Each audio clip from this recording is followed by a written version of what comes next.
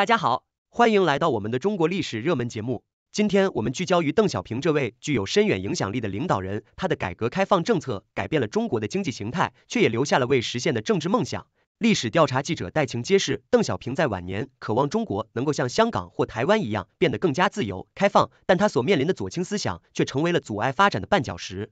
此外，我们也将关注陕西咸阳震撼人心的腐败案件，揭露了多名高官的黑暗交易。随着调查深入，真相逐渐浮出水面，两名嫌疑人主动自首，证据链条接连曝光，让人们看到了反腐斗争的决心。最后，我们将进入悬疑紧张的谍战剧《永不消逝的枪声》，跟随主人公李明在抗战时期的惊险任务，探索爱与信念如何在动荡的年代中闪耀光芒。请大家继续收看详细内容。欢迎收看中国历史热门，我是您的主持人。在今天的节目中，我们将为您带来三则不同背景下的重要事件与故事，每一个都对中国现代历史产生了深远的影响。首先，让我们来了解一下这些内容的出处。节目来源与原创作者。本期节目内容主要来源于三个不同的报道和创作。第一篇文章来自美国之音中文网，由历史调查记者戴晴撰写，探讨了邓小平在晚年时期对中国未来发展的设想。第二篇文章则来自著名时事评论频道大禹拍案惊奇，揭示了陕西咸阳的一起涉及高官腐败的重大案件。第三篇内容是来自谍公勘片社的谍战剧《永不消逝的枪声》的剧情概述。节目的内容介绍与分析，戴晴，邓小平有个十年布局，死前梦想是中国变香港或台湾。来源：美国之音中文网。在戴晴的这篇文章中，他深入分析了邓小平在其晚年对中国未来的期望。邓小平被认为是中国现代史上最具影响力的领导者之一，他推行的改革开放政策深刻改变了中国的经济面貌，但他的政治理想却未能完全实现。邓小平曾希望中国能够像香港或台湾一样，走向更加自由和开放的社会。他认为左倾思想是中国发展的一大障碍，并通过多种政策推动经济改革。然而，邓小平的政治体制改革设想并未得到广泛支持，这一遗憾至今仍然影响着中国的现状。分析：邓小平的愿景反映了他对自由、开放、多样化社会的追求。然而，经济与政治改革并非一蹴而就的过程。邓小平的思想传承至今，仍然是中国社会在不断追求经济与政治双重改革的动力源泉。这一未竟的梦想也提醒我们，在追求经济增长的同时，政治体制改革也是不可或缺的。陕西咸阳案情揭晓，被清零高官身份浮出，被通缉五人，有两人自首。来源：大禹拍案惊奇。这起案件揭示了陕西咸阳一位高官的腐败行为，涉及到土地征用、工程招标等方面的非法利益输送。案件的核心人物利用职权进行利益交换，最终导致多项公共工程项目质量低下，甚至出现了安全隐患。警方在调查过程中通缉了五名涉案人员，并已先后有两人自首，提供了大量证据。分析这一案件不仅揭示了高层官员的腐败，也暴露了底层民众在面对腐败权力时的无助。通过及时的反腐行动，政府展示了打击腐败的决心和力度。然而，反腐败不仅需要权力机关的努力，更需要制度的完善和社会的监督，确保公共资源不被滥用，保障人民的利益。二零二四谍战剧《永不消逝的枪声零幺》，来源：谍工刊片社。永不消逝的枪声是一部充满悬疑与紧张的谍战剧，故事背景设定在抗战时期。主人公李明是一名特工，他的任务是潜入敌方情报机构获取重要情报。过程中，他与女工小雪之间萌生了感情，但战争和任务的压力让这一感情充满了波折与挑战。最终，李明成功完成任务，但也面临着更多的未知和挑战。分析这部谍战剧不仅充满紧张刺激的情节，更是通过李明和小雪的故事，表现了在战乱年代中人性的光辉与爱情的力量。剧中的每一个细节都充满了历史的厚重和人物的真实感，令人感受到那段特殊历史时期的复杂与艰辛。总结今天的节目，通过三个不同的故事与背景，为我们展示了中国现代历史的不同侧面。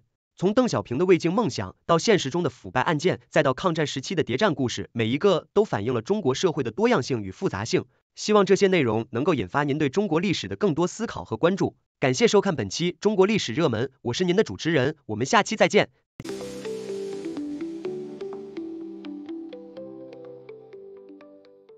请大家继续收看节目的六度百科，对关键内容进行背景介绍。在中国现代历史的长河中，邓小平无疑是一个极具影响力的人物。他的改革开放政策不仅改变了中国的经济面貌，也深刻影响了社会的方方面面。然而，历史调查记者戴晴在其研究中提到，邓小平在其晚年有一个未能实现的梦想，那就是希望中国能够像香港或台湾一样，走向更加自由和开放的未来。邓小平曾经在多个场合提到，中国最大的危险并不是自由化，而是左倾。他认为左倾的思想会阻碍中国的发展，导致国家的停滞不前。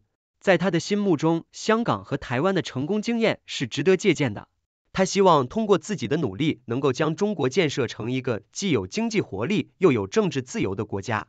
在邓小平的领导下，中国实施了一系列的改革措施，尤其是在经济领域。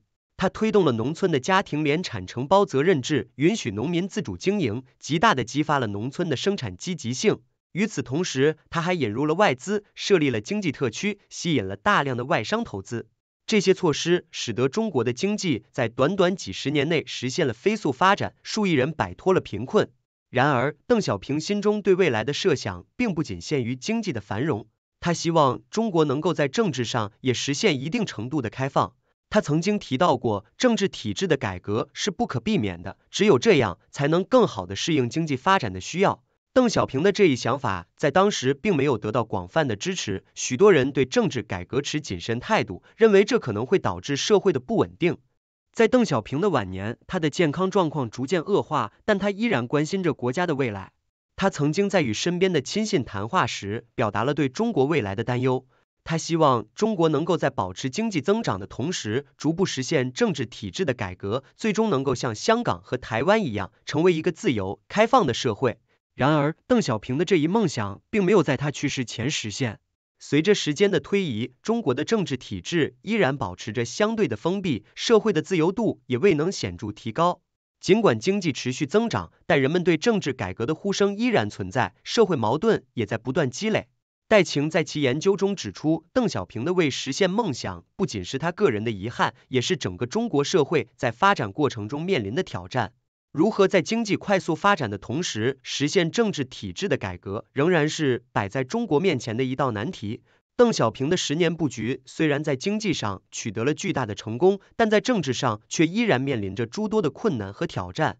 在这个过程中，邓小平的思想依然对后来的领导人产生着深远的影响。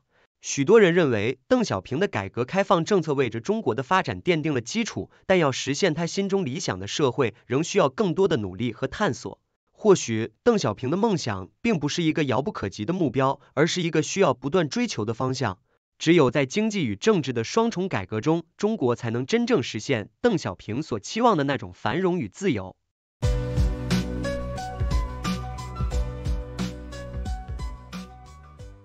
欢迎大家进入六度探索的辩论环节，我们从正反两个角度对本节目进行辩论，请出我们的辩论高手楚天舒、谢琪琪。我是楚天舒，我是谢琪琪。大家好，我是楚天舒。我们今天要讨论的是戴晴关于邓小平梦想中国变成香港或台湾的观点。首先，我要说，邓小平的改革开放政策确实在经济上取得了巨大的成功，让中国摆脱了贫困。走向繁荣。邓小平一直强调要警惕左倾思想，因为左倾会导致国家停滞不前。而他的愿景，想要中国更加自由开放，其实就是希望通过政治体制的改革，更好的适应经济发展的需要。毕竟，没有政治改革的经济繁荣，只是一个没有根基的空中楼阁。各位观众，我是谢琪琪。楚天舒，你说的好像邓小平的愿景是完美的一样，但别忘了，现实是复杂的。邓小平虽然在经济上取得了成就，但他的政治改革并没有如愿以偿实现。你说政治改革很重要，但你忽略了一个事实，那就是社会的不稳定和各种政治风险。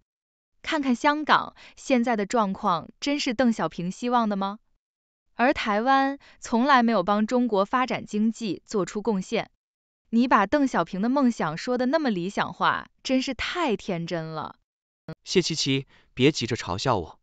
邓小平的愿景确实没有完全实现，但这并不意味着他的方向是错误的。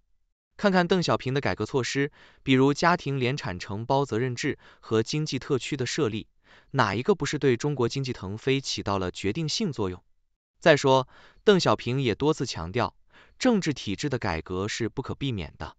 就像《孙子兵法》里说的：“知彼知己，百战不殆。”邓小平深知中国的经济必须依赖开放的政治环境，才会有更大的发展潜力。不敢尝试政治改革，就像不敢下水学游泳一样，只会一直停在岸边。楚天舒，你真是个理想主义者。我承认，邓小平的经济政策让中国取得了巨大的进步，但你不能忽视那些失败的案例。比如东欧国家苏联解体后，政治改革没有带来预期的经济繁荣，反而陷入了混乱。你说的头头是道，但现实是复杂的。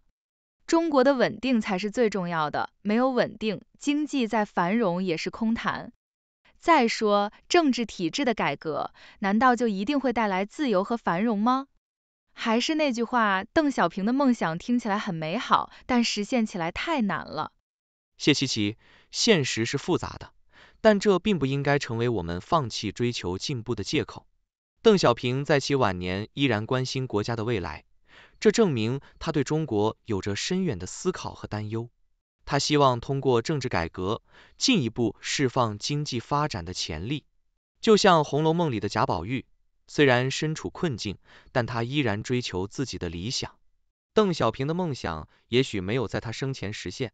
但这并不意味着我们不能继续追求。只有在经济与政治的双重改革中，中国才能真正实现繁荣与自由。楚天舒，你的激情我很佩服，但你说的这些理想化的东西，真的能实现吗？看看现在的现实，社会矛盾依然存在，政治改革依然是一个敏感的话题。邓小平的梦想，或许只是一个遥不可及的目标。我们需要的不是空谈理想，而是脚踏实地的稳步前进。就像《西游记》里的唐僧，虽然有取经的理想，但一路上的妖魔鬼怪也不少。实现邓小平的梦想，需要的不仅仅是愿景，更需要智慧和耐心。